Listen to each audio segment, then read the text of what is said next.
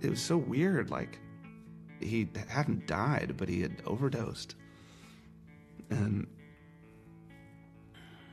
I just felt so totally helpless, you know?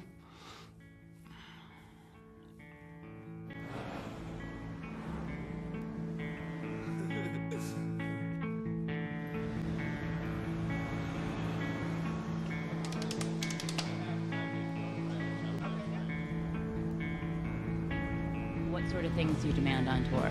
Instruments.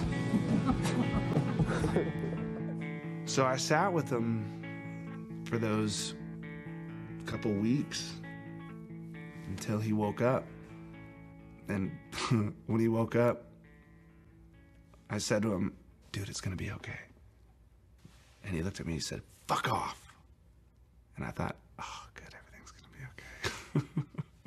Dave's like my best friend. And even more than like a best friend, he's like a like a brother. He really is.